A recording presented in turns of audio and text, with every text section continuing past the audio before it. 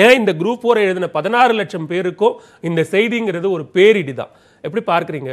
இல்லை கட்டாயம் அதில் ஒன்றும் மாற்றுக்கருத்தே கிடையாது. ஏன்னா அவங்களுடைய டைமு பணம் உழைப்பு மூணுமே அதில் வந்து கேள்விக்குறியாகி நிற்கிறது அதில் மாற்றுக்கருத்தே இல்லை.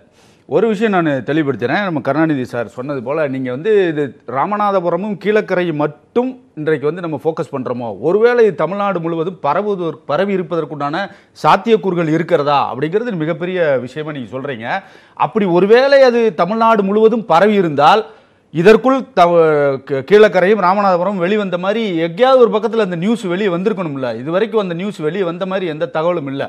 ரைட் இப்போ நண்பர் தேல் தேல் கொட்டிருச்சு. கரெக்ட் தேல் கொட்டிருச்சு. கொட்டினது ஒரு திருடுனது தான் மற்ற திருடங்கள்லாம் ஒளிஞ்சிக்க கூடாதுன்னு ஏதாவது இருக்கா அதுல மாற்று கருத்துல நீங்க சொல்ற ஒளியறதுக்கு வாய்ப்பு நீங்க மும்பைல நீட்ல இங்க இருந்து ஆள் மாறாட்டம் மும்பைல போய் செஞ்சுட்டான் சார் ஒரு சென்டர்ல போய். அதுக்காக ஒட்டுமொத்த நீட்டை நம்ம வந்து குறை சொல்லி இந்தியா முழுவதும் இப்ப நீட் இப்படி தான் நடந்திருக்குமோ? அப்படின்னு நம்ம எப்படி பொதுமைப்படுத்த முடியாதுல்ல? சோ அப்ப ஆனா அஹ், கருணாநிதி சார் சொன்னது மாதிரி அந்த ரெண்டு சென்டர்ல நீங்க சொல்றது நான் ஒத்து- இல்ல நீங்க சொல்றது. அதிகாரிகள் அது மட்டும். நல்லா. குரூப் போர் தேர்வுல மட்டுமே இந்த முறைகேடு நடந்திருந்து இந்த வருஷம் மட்டுமே ரெண்டாயிரத்தி பதினொன்னுல நவம்பர்ல வந்த தரவரிசை பட்டியலில் மட்டுமே இந்த பிரச்சனை நடந்திருந்தா நீங்க சொல்ற மாதிரி ஆமா இந்த ரெண்டு சென்டர்ல மட்டும்தான் பிரச்சனை நடந்ததுன்னு நம்ம ஒத்துக்கலாம். பதினேழு பதினெட்டுன்னு தொடர்ச்சியாக இந்த சிக்கல்கள் இருக்கு. குரூப் டூ ஏல முறைகேடு செய்து பதவிக்கு வந்த எரிசக்தி துறையில பணிபுரியிற திருக்குமரனை தான் இப்ப சிபிசிஐடி அரெஸ்ட் பண்ணிருக்காங்க எல்லாமே ரைட்டு இந்த இந்த ராமநாதபுரம் மாவட்டத்தில் இந்த ரெண்டு சென்டரை தவிர பதினேழுல இங்கே தான் பிரச்சனை நீங்க சொன்னீங்க. ஆமா. பதினேழுல இங்கே தான் பிரச்சனை. அப்ப அங்க ஏதோ ஒரு வீக்னஸ் இருக்குன்னு தானே அர்த்தம். அப்ப சார் சொன்னது போல அந்த அதிகாரிகள் இது அல்லது கீழே இது வந்து நீங்க சொன்னது போல ஒரு ஆள் ரெண்டு ஆள் வந்து தனிப்பட்ட முறையில் செய்வதற்குண்டான சாத்தியம் இல்லை நான் கட்டாயம் அடித்து சொல்வேன். டெஃபினட்டா இதுல ஒரு நெட்வொர்க் இருக்கும். டாப் டு பாட்டம் நெட்வொர்க் இருக்கு. அது வந்து வரக்கூடிய புலன் விசாரணை. இந்த இந்த நெட்வொர்க் இருக்குன்னு நம்ம பேசி. நம்ம பேசிட்டே இருக்குமே தவிர டிஎன்பிஎஸ்சியை ஸ்ட்ரீம்லைன் பண்றதுக்கான ஒவ்வொரு முயற்சிகள் எடுக்கிற போதும் அதற்கு ஏதோ ஒரு தடை இருக்கிறது. திரு ஷியாம் அவர்கள் சொன்ன மாதிரி எந்த அரசு இருந்தாலும் அரசினுடைய தலையீடு இல்லாமல் குறுக்கீடு இல்லாமல் டிஎன்பிஎஸ்சி தலைவரா வர்றதே மிகப்பெரிய சவால்னு இருக்கும்போது நீங்க எப்படி ரெகுலேஷனை ஸ்ட்ரீம்லைன் பண்ண முடியும்? அது வந்து தனி கதைங்க. அவர் சாம் சார் சொன்னது வந்து நீங்க வந்து அது வந்து பொலிட்டிக்கல் ரீதியான எத்தனையோ பொலிட்டிக்கல் ரீதியான அது. ஒரு காரணமா இருக்கா அந்த இல்லையா கதை. தனி. இன்னைக்கு நடக்கிற முறைகேடுக்கு அது ஒரு காரணமா இருக்கா இல்லையா? இல்ல அது வந்து காரணமா இருக்குன்னு சொன்னா ஒரு அப்பாயின்மெண்ட் போட்ட பிறகு அவர் அந்த தனிப்பட்ட நபர் அங்க எப்படி வந்து பணி செய்யறாரு அப்படிங்கறத பொறுத்தானே இருக்கு. இப்ப இப்ப நானும் என்னையும் ஒரு அரசு வந்து உறுப்பினரா போடுது சாரையும் ஒரு உறுப்பினரா போடுது சார் அங்க போய் எப்படி பெர்ஃபார்ம் பண்றாரு நான் எப்படி ஒரு பெர்ஃபார்ம் அவருடைய பின்புலம் என்னன்னு பாக்குறோம் சார். நீங்க அரசு தரப்புக்கு ஆதரவாக. இருக்கக்கூடிய ஒரு அதிகாரியாக இருந்தா உங்களுக்கு அரசுனால் நீங்க ஈஸியா இன்ஃபுளுன்ஸ் ஆயிருவீங்க. அரசு சொல்லக்கூடியதை செய்வீங்க. ஒரு அமைச்சர் சொல்லக்கூடியதையோ எம்எல்ஏ சொல்லக்கூடிய ஆளுக்கோ நீங்க வேலை போட்டு கொடுப்பீங்க அப்படிங்கிற நம்பிக்கை சாதாரண சாமானிய மக்களுக்கும் வரத்தானே செய்யும். அது சாமானியம் வரத்தாஞ்சி அதுல மாத்து கருத்து இல்ல. அப்படி ஒருவேளை அரசியல் புண்பலத்துல செல்வாக்கு படுத்த செல்வாக்கு வந்து செலுத்தப்பட்டு ஒட்டுமொத்தமா வந்து அமைச்சர் அத்தனை சீட்டை போட சொல்றாரு இத்தனை பேர் சீட்டை போட சொல்றாரு அப்படின்னு இது வரைக்கும் நிலவரம் வந்திருந்தா அப்ப டிஎன்பிசி வந்து வந்ததுமே எக்ஸாம் நடத்துறதுமே கேள்விக்குறியாப்படும் பிரயோஜனமே இல்லை. அப்படியான சூழ்நிலை தமிழகத்தில் இல்லைன்னு நான் நினைக்கிறேன். கட்டாயம் அதில் மாற்று கருத்து இல்லை. ரெண்டாவது விஷயம் அந்த ரெண்டு வட்டாட்சியர் மட்டும்தான் இன்னைக்கு பிடிபட்டிருக்காங்க. ஆனால் அவருக்கு கீழ்நிலையில் டாப் டு பாட்டம் இப்போ வந்து அவருக்கு உதவி செஞ்சது யார்? இது சொன்ன மாதிரி நெட்ஒர்க் இல்லாமல் இல்லவே இல்லை. நீங்கள் மும்பையில் நீட்டில் பார்த்தீங்கன்னா நெட்வொர்க் தெரியும். எங்கெங்க கேரளாவில் தரகர் எங்கேருந்து எங்கே நெட்வொர்க் எப்படி லிங்க் ஆச்சு எல்லாத்தையும் கண்கூட பார்த்தோம். மீடியாவில் எல்லாத்துலேயும் வந்தது. அது மாதிரியான ஒரு நிகழ்வு தான் இதில் இருக்குது. இல்ல நீங்க நீங்க ரெண்டாவது- சொல்ற நீங்க சொல்ற எல்லாத்துலயும் நாம பேசுற இந்த டிஎன்பிஎஸ்சிலையும் இடைத்தரகர்கள் கைது செய்யப்படுறாங்க. இப்படி சின்ன சின்னதா ஒவ்வொரு கவர்மெண்ட் ஆபீஸ்லயும் வேலை பார்த்த ஆபீஸ் அசிஸ்டன்ட் கைது செய்யப்படுறாங்க. அவ்வளவுதான். அதோட அந்த வழக்குகள் முடிந்து போகும். இதுல யாருக்கு தொடர்பு இருக்கிறது? உண்மையான குற்றவாளி யார்? அப்படிங்கிறது வெளிச்சத்திற்கே வராது வெளியவே வராது. இல்ல அது வந்து விசாரணை அப்படி ஒரு ஒரு ஒரு ஒரு இறுதிக்கட்டமாக அது இப்படி சொல்ல முடியாதுல்ல. நீங்கள் விசாரணை எந்த பாதையில் பயணிக்கிறது?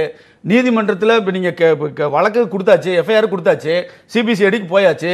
விசாரணை அடுத்த கட்டத்தை நோக்கி எவ்வாறு நகர்ந்து கொண்டு போகிறது? யார் யாரெல்லாம் கைது பண்ணியிருக்காங்க? சார் சொன்ன மாதிரி அதில் இன்வால்வ் அந்த இன்வெஸ்டிகேஷன் டீம் எப்படி அதில் ஃபங்க்ஷன் ஆகுது? அதில் இருக்க ஆஃபீஸர்ஸ் எப்படி அதை கொண்டு போகிறாங்க அதை பொறுத்து அடுத்த கட்டமாக அது நீதிமன்றத்திற்கு போகிற போது நீதிமன்றம் என்ன தீர்ப்பு சொல்ல போகிற அதெல்லாம் ஒரு ப்ராசஸ் இருக்குல்ல. ஸோ கட் பண்ண கட் முடியாது பண்ண முடியாதுல்ல. என்டையர் ப்ராசஸையுமே நம்ம கொஸ்டின் பண்ண முடியாது. போகும்போது ஏதாவது ஒரு லிங்க்னா தொடர்ந்து போயிட்டே தான் போயிட்டே தான் தவிர கட் பண்ணி விட்டுட்டு பண்ணாங்கன்னாக்கா வெளியே வந்துரும். அது இல்ல எப்படி சார் நான் என்ன சொல்றேன்னா நீங்க பிரச்சனை ஒரு இடம் தான் ஃபோக்கஸ் ஆகுறது இங்க மட்டும்தான். அந்த ஃபோக்கஸ் அதோட கைது கைது நடவடிக்கையோட முடிச்சிட்டு. விசாரணை நடைபெறுகிறது அப்படின்னு சொல்லிட்டா அதை தாண்டி அதுல வேற என்ன கேள்வி எழுப்ப முடியும்? இவ்வளவு பெரிய நீங்க மீடியால கேள்வி எழுப்ப வேண்டியதில்லைங்க. ஆனா இன்வெஸ்டிகேஷன்ங்கிறது கண்டினியூ இல்ல இன்வெஸ்டிகேஷன் நடக்குது விசாரணை நடக்குது. ரெண்டாயிரத்தி பதினொன்னுல நடந்த லஞ்ச ஒழிப்புத்துறை விசாரணையில இருந்து இன்னும் அதை விசாரணையாகத்தான் நம்ம பார்த்துக்கிட்டு இருக்கோம். இப்ப நடந்த விஷயத்திற்கு அந்த தேர்வு எழுதிய பதினாறு லட்சம் பேருக்கு என்ன பதில்? நீங்க எழுதிய தேர்வு நியாயமா தான் நடந்தது அப்படின்னு அந்த பதினாறு லட்சம் இந்த- டிஎன்பிஎஸ்சி சொல்லுமா? சொல்லணும். இப்போ இன்வெஸ்டிகேஷன்ல தெரிஞ்சிடும் இங்க மட்டும்தான். நீங்க கேட்ட கேள்விக்கு ஆன்சர் இப்போ இன்வெஸ்டிகேஷன்ல தெரிஞ்சிடும் கொஞ்சம் டைம் எடுத்தாலும் கூட ரொம்ப நாள் எடுக்க மாட்டாங்க. விவரம் தெரிஞ்சிடும் யார் இதுல இன்வால்வ் ஆனவங்க? எல்லா இடத்துலையும் இதே மாதிரி நடந்திருக்கா? இல்லை இந்த இடம் மட்டும்தானாங்கிறது இன்வெஸ்டிகேஷன்ல தெரிஞ்சிடும் தெரிஞ்சதுக்கு அப்புறம் அந்த இடத்துல உள்ளவங்களை மட்டும் ஒதுக்கிட்டு மற்றவங்களுக்கு ஒரே ஒரு கருத்து. அதாவது இது குரூப் ஃபோர் பல லட்சம் பேர் எழுதுறாங்க. பல லட்சம் பேர் எழுதும்போது கொஞ்சம் பேர் தான் பிடிபட்டது மாதிரி நமக்கு தோணுது. ஆனால் பல லட்சம் பேர் எழுதுற பரீட்சையில தான் வந்து முறைகேடு அதிகம். காரணம் என்ன அப்படின்னா தமிழ்நாடு பூரா புரோக்கர்கள் கிளம்பி வருவாங்க. எங்க ஓன் கிராமத்திலே நான் அதை கண் கூட பார்க்கிறேன். அவன் பையன் விஏஓ பரீட்சை எழுதுறானாம்ல மேல சொல்லி முடிச்சுக்கலாம். அ- அதுல பொய்யா இருக்கிறவனும் இருப்பான். பொய் புரோக்கரும் இருப்பான். நிஜ புரோக்கரும் இருக்கான்.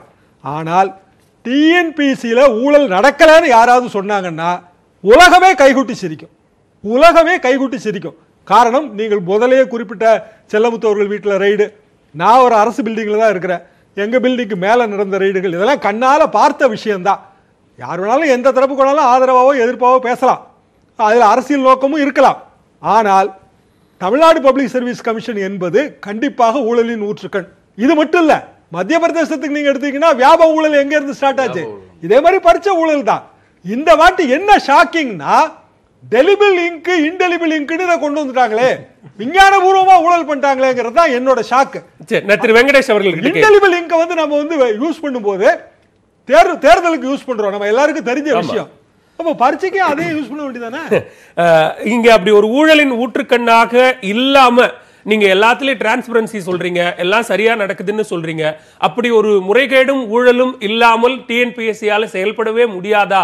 அப்படிங்கிறது தான் கேள்வி. செயல்பட முடியாதுன்னு இல்லை செயல்பட முடியும். அது வந்து நம்ம வந்து அதில் இருக்கக்கூடிய அதிகாரிகள் எப்படி நடந்து கொள்கிறார்களோ அதை பொறுத்து தான் அமைப்பு. ஸோ அமைப்பு வந்து தலைமை நல்லா இருந்துச்சு அமைப்பு நல்லா நடக்குது அப்படின்னா தலைமை நல்லா நிர்வாகம் நல்லா இருக்கும். சார் சியாம் சார் சொன்னது மாதிரி அப்படி டோட்டலாகவே அதில் ஊழலே நடக்கலை. அப்படி நம்ம ஜஸ்டிஃபை பண்ண முடியாது. ஏன்னா நடந்திருக்கு. இதுக்கு முன்னாடி சம்பவம் கமிஷன் தலைவர் வீட்டுக்கு ரைடு போயிருக்குது உறுப்பினர்கள் வீட்டுக்கு ரைடு போயிருக்குது. ரெண்டாயிரத்தி பதினொன்றில் நீங்கள் சொன்ன மாதிரி அந்த வழக்கு இன்னும் உச்சநீதிமன்றத்தில் நிலவில் நிலுவையில் இருக்குது நான் நினைக்கிறேன். ஸோ அந்த அடிப்படையில் டோட்டலாவே நம்ம அதை மறுக்க முடியாது. அதுக்காக டோட்டலாவே நடந்தது எல்லாமே தப்பு அப்படின்னு சொல்ல முடியாது. அதை எப்படி நீங்க ஜஸ்டிஃபை பண்ண முடியும்? ஜஸ்டிஃபை பண்ண முடியாது. அப்ப நீங்க என்ன சொல்ல வரீங்க ராமநாதபுரம் கீழக்கரையில் நடந்த ஒரு சம்பவத்தை வச்சு தமிழ்நாடு பூரா இப்படி தான் நடந்திருக்கும். அப்படி நம்ம எப்படி அதை பொதுமைப்படுத்த முடியும்? சார் நான் என்ன சொல்றேன்? நீங்க ஒரு ஒரு கேள்வித்தாள் என்பது பொதுவான ஒரு கேள்வித்தாள் தான். அந்த கேள்வித்தாளை வைத்து தான் நீங்க தேர்வு நடத்துறீங்க. அதுல ஒரு முறைகேடு நடந்திருக்கு அப்படின்னு சொல்றோம். அந்த இருக்கக்கூடிய எஞ்சி இருக்கக்கூடிய அந்த பதினாறு பதினாறு லட்சத்தி இருபத்தி ஒன்பதாயிரத்தி சொச்சம் பேருக்கும் ஒரு சந்தேகம் வருது.